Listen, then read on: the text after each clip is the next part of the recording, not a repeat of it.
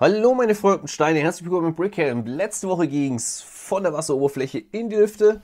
Diese Woche geht es von der Wasseroberfläche nach unten, unter Wasser.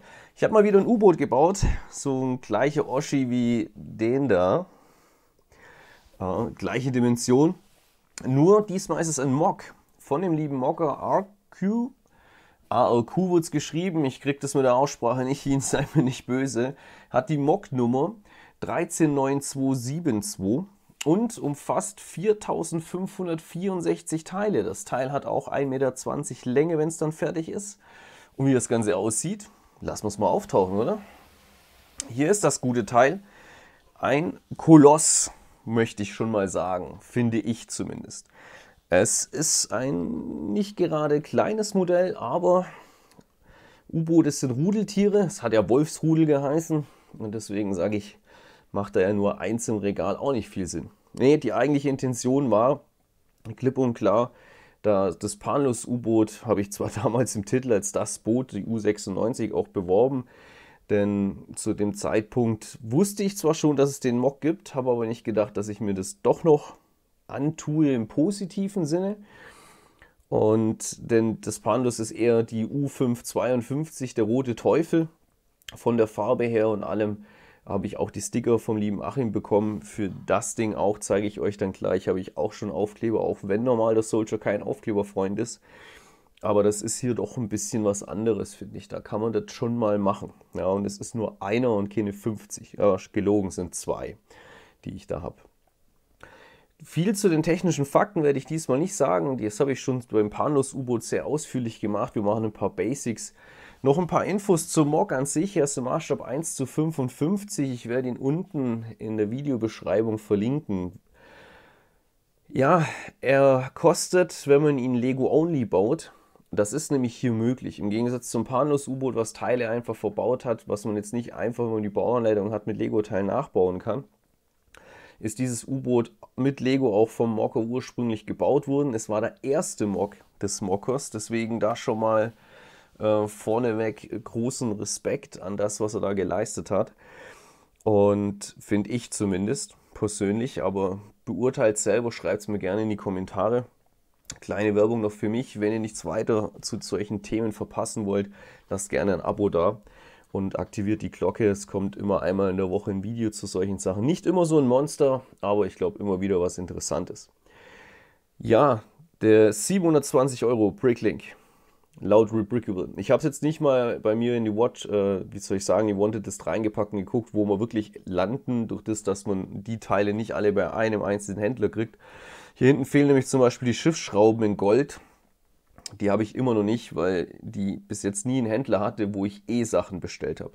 Ich habe diesen Mock hier gebaut aus zwei Drittel Rebrick-Steinen und ein Drittel Lego. Wie so ein Drittel Lego. Ich habe mir so ein Steinepaket von Rebrick geholt zeige ich euch nachher gleich mal noch, was da so übrig geblieben ist, denn da sind viele Teile dabei gewesen, die in der falschen Farbe sind. Und das, äh, nee, da habe ich gesagt, das ist für mich ein No-Go. Ich will das Teil so bauen, wie es der Mocker geplant hat. Darum, es ist hier auch noch nichts umgebaut. Ich werde auch noch ein paar Sachen umbauen. Und man kann ihn mittlerweile auch bei Lesti kaufen, wenn man sagt, naja, okay, ich brauche es jetzt nicht komplett original Lego oder so. Ich, ich baue mit allen möglichen Steinen. Ähm, Gibt es mittlerweile den Mock auch bei Lesti, haue ich euch auch unten den Link in die Videobeschreibung. Da liegt er im Schnitt so bei 322 Dollar. Denkt man auch erst so, huch, ja, mit so einem Verhältnis zu dem Set da hinten, klar, kostet ein bisschen mehr, aber ist immerhin auch ein Mock, wie gesagt. Das heißt, man muss die Steine sich sonst sehr mühevoll, Sache nur Bricklink 720 Euro zusammensuchen. Äh, abzüglich Rabattcode, wo es da immer gibt. Also da gibt es immer einen. Ja, seid ihr so bei 300 Euro, schätze ich mal, all inklusiv. Da kann ich jetzt nichts sagen, was die Steine angeht. Ja, hier, wie gesagt, zwei Drittel V-Brick, ein Drittel Lego. Ähm, mit den V-Brick-Steinen ja, spreche ich nachher ein paar Punkte an. Gab es das eine oder andere, was mich erst getriggert hat, wo ich jetzt so sage, ja, okay, ich kann schon mit damit leben. Sind wir aber immerhin, das Ding wiegt laut Lesti 5 Kilo, ich habe es jetzt nicht gewogen. Mocker sagt gut über 4 Kilo, sind wir so bei gute 60 Euro pro Kilo, was ich jetzt vom Steinepreis her jetzt auch nicht so teuer finde. Ja, also bei Lesti, wohlgemerkt, wenn man sich das holt. Kurz ein paar technische Fakten. Ne? Was ist ein Typ 7C? Typ 7C war das, finde ich, das deutsche U-Boot im Zweiten Weltkrieg, beziehungsweise auch das meistgebauteste mit 568 Stück. hat den Sechszylinder äh, MAN Dieselmotor drin, der dann wiederum Batterien leert, dass wenn sie auf Tauchfahrt sind, dann mit Strom, mit Elektromotoren gefahren sind, fahren konnten. Äh, vier Torpedoschächte nach vorne, ein Torpedoschacht nach hinten, waren 67,1 Meter lang, hatte Maximalgeschwindigkeit von 17,7 Knoten erreichen können. Und ja, wie soll man sagen, Tauchreichweite waren 240 Kilometer. Die U96, was es hier bei mir werden soll, hat dann ein ganz spezielles Wappen und das ist dieses hier, der, den Sägefisch. Den hat mir der liebe Achim gedruckt. Nochmal Grüße raus und vielen Dank dafür. Der kommt hier vorne auf den Turm drauf. Der Sägefisch war von dem Zeichner Hans Kossatz und die Crew hat sich damals an den Zeichner gewandt und hat ihn gefragt, ob sie dieses, seine Zeichnung als Maskottchen äh, an ihren Turm machen dürfen. Und es war dann sogar so, dass er persönlich diesen äh, Sägezahn, äh, Sägefisch vorne auf den Turm draufgemalt hat. Das soll schon gewesen sein zum Thema technische Fakten. Ich habe gesagt, wir gehen ins Modell rein. Denn da gibt es schon ordentlich was zu sehen. Wie ihr seht, hat hier auch der Mocker den Innenraum dargestellt. Natürlich für die Nicht-Minifiguren-Maßstab, ne, wir reden hier von 1 zu 55, da geht es schlecht. Ne? Da müsste man schon mal ein Stück größer. Wäre aber auch mal eine geile Nummer. So ein 1 zu 32, 1 zu 35er Typ 7C, ja, könnte ich schon, da könnte ich nochmal sagen, ja, jetzt reicht sonst. Aber da könnte man mich nochmal ein bisschen catchen. Wir haben hier vorne den Torpedoraum, wo auch Torpedos mit angedeutet sind. Ich gucke mal, ob ich es euch mal ein bisschen besser zeigen kann.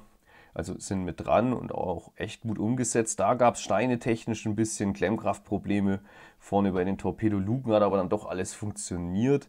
Ähm, die Aufhängung vom Torpedo, vom äh, Kran zum Reinlupfen ist auch okay. Normal sollte das nicht so schräg stehen, da stimmt auch irgendwas nicht von den Teilen. Und dann haben wir als zweites hier den Funkerraum und Co. Hier sind natürlich ähm, Standard-Prints verbaut, die es von Lego gibt. Man kann sich aber auch, wenn man Bock hat, ich hatte nur leider nichts mehr da und ich werde es mir aber im Nachhinein mal noch umbauen, auch wenn man da ganz selten reinguckt und bei mir ist im Regal mit geschlossenen, mit Verkleidung dran, die ist nämlich auch dabei, ich drehe es nachher mal um, dann seht ihr, wie es mit Verkleidung aussieht. Wenn ich mir trotzdem noch Custom Prints holen bei Brick Factory Berlin, ich haue euch oben als Logo rein, Link auch unten, ähm, habe ich schon öfters mir mal Drucke, beziehungsweise habe ich schon mal einen ganzen Pool Drucke von ihnen äh, gespendet bekommen. Werde da auch mal wieder nachbestellen, weil es sind schon coole Sachen, die da, da raushauen. Gerade in diesem WW2-Thema. Und da gibt es dann schöne 2x2 Fliese als Funkanlage und Enigma. Und da kann man sich das dann sonst auch mal ein bisschen mit Custom-Drucken aufhübschen, wenn man das möchte. Dann haben wir noch den Technikraum in der Mitte oder ich sage jetzt mal Technikraum, das ist 100 Pro falsch, dann ein Schlafraum und ganz hinten den Motorraum, äh, den, den Maschinenraum, ich wollte gerade schon sagen Motorraum, den Maschinenraum. Was hier fehlt, im Gegensatz zum Panlos-U-Boot, ist hier ganz hinten der letzte Raum, wo normalerweise die Elektromotoren, Batterien drin sitzen und das Hecktorpedo. Ist aus Stabilitätsgründen, sage ich mal, ähm, rausgeflogen. Finde ich aber auch gut so. Dafür ist das Ding äh, echt stabil. Ich möchte jetzt nicht zu viel sagen, aber ich glaube, wenn er das mit GoBricks und, und Lego baut, oder ja, mit GoBricks ist fast noch von der Klemmkraft ein bisschen krasser, dann ist, das geht es schon langsam Richtung Kobi-Schiff, äh, finde ich. Wenn das Ding fertig ist, finde ich es persönlich schon sehr stabil. Beim Panlos-U-Boot muss man durch die Sektionsbauweise, da kommen wir nämlich gleich zur Bauweise hier, ein bisschen aufpassen. Wenn man das so ein bisschen handelt, kann das sich gerne mal biegen wollen. Ja, aber normal stellt man es einmal ins Regal und dann ist gut. Das Ding hier ist aber echt stabil. Da kann man machen, was man will. Da ist hier ist oben Technik, unten äh, mit Technik-Bricks äh, verbaut und äh, verpinnt und alles. Das ist echt gut. Die Front und die Heck, das sind Steine verbaut. Die sind halt echt, echt teuer. Die gibt es von den Alternativen auch noch nicht. Meines Wissens, zum aktuellen Zeitpunkt des Videos gibt es die auf jeden Fall noch nicht. Das wäre diese Brick Modified aber auf der Rückseite hat er auch nochmal Noppen. Den gibt es erst seit Ende 22, Anfang 23 ist der rausgekommen in Trans Orange. Ich glaube 22 in Trans Orange, dann ähm, 23 in Dark Bluish Gray und kostet bei Bricklink noch unverschämte 60, 65 Cent und ihr braucht über 60 Stück. Ich wollte sie mir erst holen. Ähm, zum Zeitpunkt, wo ich sie bestellen wollte, war dann aber der Teile-Shop ähm, bei Lego Direct äh, down. Die haben es über Weihnachten runtergefahren. Da wäre ich nur, ich glaube, bei unter 30 Cent gewesen. Da hätte ich mir gesagt, okay, komm, machst du. Als Alternative, und ich schätze mal auch so wird sein, wenn ihr es von Lesti bekommt, nehmt ihr diesen Stein. Da fehlen euch dann auf beiden Seiten jeweils zwei Noppen, aber tatsächlich macht es nicht wirklich was aus. Es gibt ein, zwei Stellen, wo dann mal kurz ein Teil nicht aufgenoppt wird, aber ihr tut hier mehrlagig beplaten, beblanken vorne und hinten. Da funktioniert es wirklich gut. Was ich hier gemacht habe, das wäre jetzt so die Variante, wie es Rebrick auch vor äh, hatte. Das sind zwei, einmal zwei Plates, dann diese Brick Modified obendrauf. Ich habe es so gemacht, ich habe mehrere Seiten vorgeblättert, habe geguckt, wie muss die Rumpfsektion aussehen und habe dann immer so mit einmal 6er Blade eine Verbauung reingemacht. Da war halt der Monk in mir, sage ja, noch mehr Stabilität. Im Nachhinein muss ich sagen, durch das das hier mehrlagig beplankt glaube ich nicht, dass es notwendig wäre. Ja, da könnt ihr das so machen, wie ich euch gerade in Stein gezeigt habe. Das ist so ein Ding oder auch das, eins, das einzige Ding, was hier konstruktiv ist. Es gibt ein paar Sachen im Detail, wo man sagen kann, okay, das kann man vielleicht ein bisschen hübscher machen.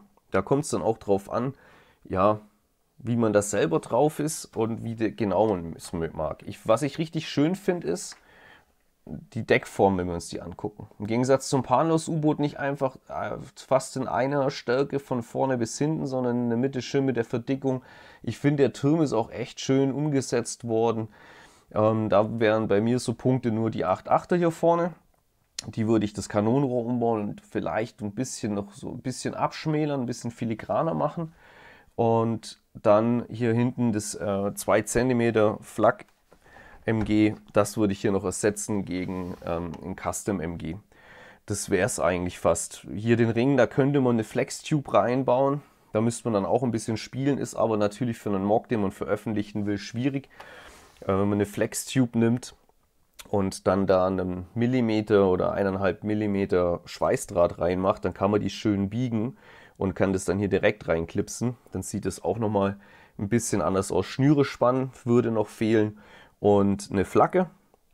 Aber das sind wirklich Detailarbeiten, wo ich das jetzt nicht deswegen Mock schlecht reden möchte. Weil er hat sehr viel Spaß gemacht. Und ich muss nochmal leider erwähnen, es ist das erste Mal laut Aussage vom Mocker, dass er sowas gemacht hat. Die Intention dahinter war, der Mock kam gute zwei Wochen, drei Wochen raus, bis vor das Panlos U-Boot als Set rauskam.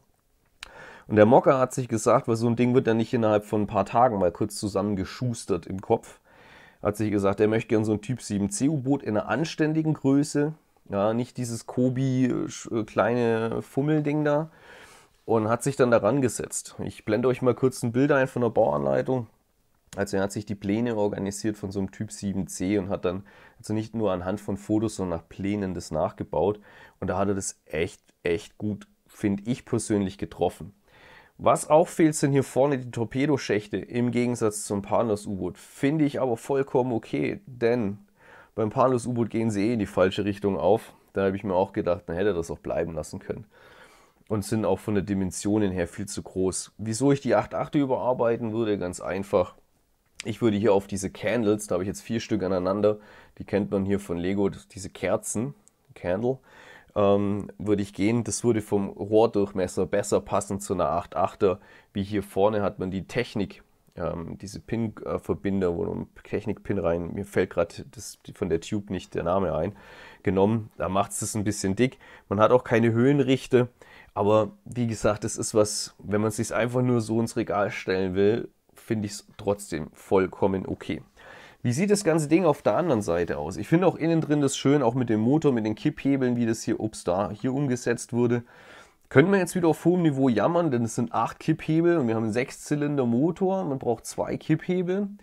Das heißt, wir bräuchten eigentlich zwölf, geht aber platztechnisch vom Scale wieder nicht. Da war immer so äh, die Kombi, wie kriegt man es hin? Aber die Kipphebel sind geil. Da hat man sich diese Eis, ich möchte mal sagen Eispickel, also was man vom Eisklettern kennt, die Dinger, äh, wo es als äh, Minifiguren-Utensil genommen. Sehr, sehr cool. Also coole Umsetzung auf jeden Fall. Nur weil jetzt die Kipphebelanzahl nicht passt. Das ist was für Korinthenkacke, meiner Meinung. Wie sieht das Ding von der anderen Seite aus? Wow. Gucken, wir brauchen hier echt Platz. So, ich finde die Form echt gut gelungen. Mir gefällt es tatsächlich mittlerweile mehr, wenn ich das Ding neben meinem Panlos stehen habe, mehr wie vom Panlos-U-Boot. Es ist einfach runder. Klar, man hat noch Absetzkanten drin, aber beim Panlos-U-Boot ist das halt eine Stärke von vorne bis hinten. Die haben es nicht einmal probiert, die, die Aufdickung in der Mitte irgendwie darzustellen. Der Mogger hat es probiert. Ihr seht jetzt hier auch schon diese farbenfrohen Unterschiede. Das ist unter anderem ein Punkt, wo ich gesagt habe, ja, das hat mich bei den V-Brick-Teilen ein bisschen genervt. Farbunterschiede hat man zwar mittlerweile auch bei Lego, aber ich finde es nicht ganz so krass wie jetzt hier. Am Anfang hat es mich gestört. Je länger es im Regal steht, desto weniger stört es mich, weil es sieht irgendwie lebendiger aus. Sagt mir gerne mal eure Meinung in den Kommentaren, wie ihr dazu steht. Also ich finde bei so einem Modell, mich hätte es zwar schon gefreut, wenn es wirklich so farbtechnisch passt, aber irgendwie bringt es dann doch ein bisschen mehr Leben. Ich rede es mir vielleicht auch nur schön, aber ja, das ist so meine ähm, Meinung dazu. Es fehlen, wie gesagt, noch bei mir die Schiffsschrauben, die habe ich jetzt nicht herbekommen in Gold und Schwarz wollte ich sie nicht montieren, die kommen noch. Aber sonst wirklich, finde ich, ein sehr schön getroffenes Set. Ich mache mal noch ein paar Schwenker. Also auch vorne die Rumpfform mit den Slopes gut hinbekommen. Ähm, dann die tiefen Ruder, diesmal sage ich es richtig. ich habe es beim letzten Mal falsch gesagt. Dann hier, da fehlt auch noch, ähm, gehört normalerweise noch eine Flexhose hier unten hin. Die war von der Qualität für die Tonne. Da muss ich mir noch von Lego Original besorgen. Oh, und die konnte ich einfach da wegschmeißen, die wo von V-Brick mitgeliefert wurde. Ich habe auch von Alternativen zu Flexes, aber nicht in der Farbe, ähm, die tausendmal besser sind von der Qualität, was ich da gekriegt habe. Ein bisschen schade, aber naja, dann gehen wir mal kurz zu den Teilen, damit ihr wisst, aber das ist wie gesagt das Rebrick-Teile-Paket. Ich werde es nicht verlinken, weil ich persönlich jetzt nicht so mega begeistert davon war, gerade wegen den Fehlfarben. Wir haben jetzt hier diese fetten Curve Panels, das sind die hier unten, ja, vom, wo den Grundkörper hier unten machen. In Light Bluish Gray wurden die mitgeliefert. Wie sieht denn das aus? Oben Light Bluish Gray, dann Dark Bluish Gray, Light Bluish Gray. Ich gesagt, nee, das verhunzt mir das ganze Bild. Dann waren auch noch diese Wedge äh, Bricks. Da waren auch welche in der falschen Farbe, die auch in Light Blue Gray anstatt Dark Blue Gray mit dabei. Dasselbe Spiel hier mit diesen Steinen, äh, die dann hier unten an der Seite verbaut werden, hätte hier wieder einen Light Blue Gray Strich drin gehabt. Und dann, das sind Brackets, die man ganz unten verbaut. Denn hier ist die Bautechnik ziemlich interessant, weil das ja Lego ready ist oder halt auch der Mocker das mit Lego gebaut hat, muss man dazu sagen, der irre Hund, muss man hier, dass das hier gefliest ist, die Baurichtungsumkehr selber bauen. Und dies für jemanden wie mich als Alternativklemmer, der von Kobi einfach noch andere Steinearten gewohnt ist, das ist doch sehr aufwendig gelöst, denn es ist eine Bracket äh, Brick Modified Kombination, um die Baurichtungsumkehr hinzubekommen. Bei Kobi hättest du da jetzt einen Bau, äh, Baurichtungsumkehr Stein genommen und dann eine Fliese drunter geknallt oder nochmal eine Lage Plates und dann wäre es gut. Aber es ist auf jeden Fall mal interessant. Es sind relativ wenig redundante Geschichten dabei. Bei einer Seitenverkleidung bauen müsst ihr ein bisschen aufpassen. Ihr könnt tatsächlich nicht eins, doch ihr könnt eins vorbauen, müsst aufpassen. Die zwei Seitenteile sind erstmal gleich zu bauen sind nur oben die Slopes andersrum zu montieren. Ah, habe ich jetzt, nee genau, da habe ich mir jetzt das Ei gelegt. Die zwei waren es. Ist egal, selbe Spiel. Die zwei sind gleich zu bauen, die haben hier nämlich eine, eine Tile drin. Uh, die wäre auch ein Light Blue Gray gewesen, die habe ich dann auch noch ein Dark Blue Gray, die hatte ich schon da, ich habe auch viele Teile schon da gehabt.